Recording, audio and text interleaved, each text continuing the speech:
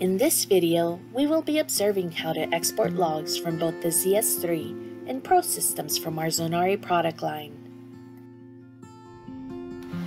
With the system powered on, locate the service key on the top right corner of the QWERTY keyboard.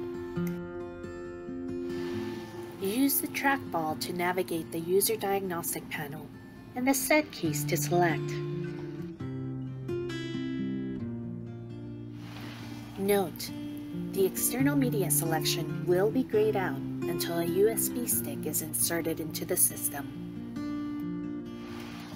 Insert the USB stick into any available port.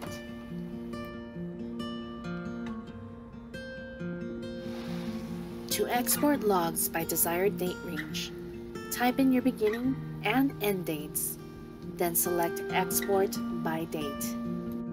To export all logs, select Export All.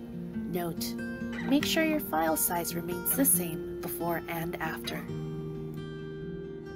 Select Cancel to exit the user diagnostic panel. You are now ready to remove the USB stick.